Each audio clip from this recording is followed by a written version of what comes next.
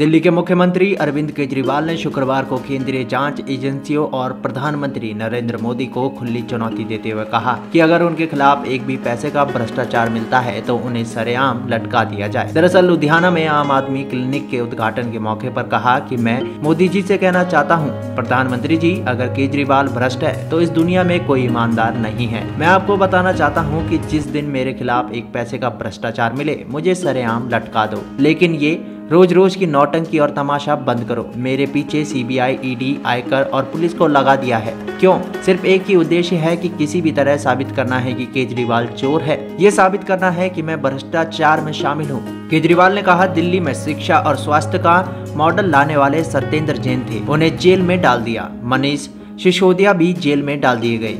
इनके घर रेड में एक रुपया नहीं मिला। भाजपा का मकसद दोनों को बदनाम कर आपको अन्य राज्यों में सत्ता में आने से रोकना है। हमारी सरकार ने जो लोगों की शिक्षा, सेहत पर काम किया, इससे लोगों का प्यार हमें मिल रहा है। गुजरात, गोवा, उत्तराखंड में हम आगे बढ़ रहे हैं। इससे भाजपा घबरा गई। कुछ महीने पहले ये कर रहे थे कि आम आदमी पार्टी से बॉर्डर नहीं संभल रहा।